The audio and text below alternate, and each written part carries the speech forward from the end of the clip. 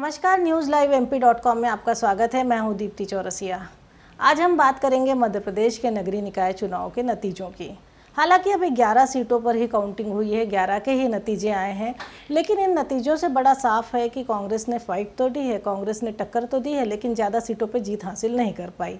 और दूसरी जो सबसे बड़ी गौर करने वाली बात है, अगर हम पहले की बात करें तो 2016 में जो पूरे के पूरे 16 नगर निगम थे, उसमें बीजेपी का ही कब्जा था।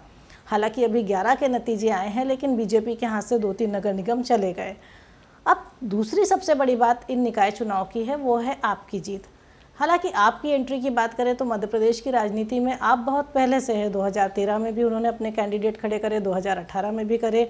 लेकिन अब मेयर प्रत्याशी या कहें कि मेयर की एक सीट पे आपका कब्जा होना कहीं ना कहीं ये बता रहा है कि मध्य प्रदेश की राजनीति में भी अब हार और जीत के समीकरण या फिर कहें कि प्रदेश की राजनीति के जो समीकरण हैं वो बदल रहे हैं। अगर हम मध्य प्रदेश में देखें तो 2003 से जो है मध्य प्रदेश के जो बॉर्डर इलाके हैं, वहाँ पर सपा और बसपा जैसे दल अपनी उपस्थिति दर्ज कराते रहे हैं। अगर हम विंध्य की बात करें तो वहाँ ग्वालियर चंबल की बात करें तो वहाँ, और अगर हम बात करें बुंदेलखंड की तो इन इलाकों में ज़्यादातर सपा और बसपा जैसे दल अपनी उपस्थिति भी दर्ज कराते रहे हैं और जीत भी हासिल करते रहे हैं। 2003 और 2008 के विधानसभा चुनाव में तो बसपा का परफॉर्मेंस काफ़ी बेहतर रहा था।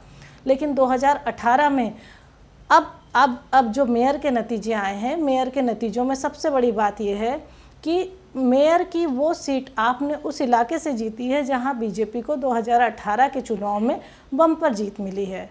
मतलब कि वहाँ की जनता ने कांग्रेस को पहले ही नकार दिया था और अब उसके बाद उन्होंने बीजेपी को भी छोड़ के आपको जो है मेयर की सीट जिता दी।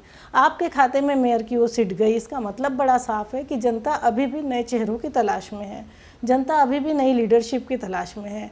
और दूसरा इनके अलावा जो नई बात है, वो ये है कि ओवैसी की पार्टी की बात करें ए आई एम आई एम की बात करें तो बुरहानपुर में जो आपकी A I M I M की कैंडिडेट थी, उसको लगभग दस हज़ार, लगभग ग्यारह हज़ार वोट मिले। और जो बीजेपी की कैंडिडेट जीती, वो साढ़े पाँच सौ के आसपास वोट से जीती, या कहें कि कांग्रेस की कैंडिडेट इतने ही कम वोटों से हारी।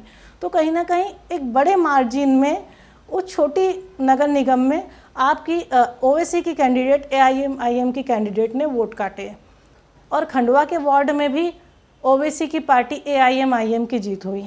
जबलपुर में भी एक दो वार्ड में उन्होंने जीत दर्ज कराई। तो गौर करने लायक बात यह है कि 2023 में अब कहीं ना कहीं विधानसभा चुनाव की जो तस्वीर होगी वो इतनी साफ़ नहीं होगी। या कह सकते हैं कि वो तस्वीर बदली होगी। क्योंकि इन छोटे दलों ने जो सबसे छोटे चुनाव में जीत दर्ज कराई है, वो कहीं ना कहीं इस बात का संकेत है कि 2023 के विधानसभा चुनाव में बीजेपी और कांग्रेस में हार और जीत का जो समीकरण होगा, वो इन छोटे दलों के द्वारा तय किया जा सकता है। इन छोटे दलों की उपस्थिति किस तरह से होगी, इनके कैंडिडेट कौन होंगे, यही तय करेंगे कि 2023 में अगर ये मैदान में हैं तो हार और जीत के समीकरण क्या होंगे।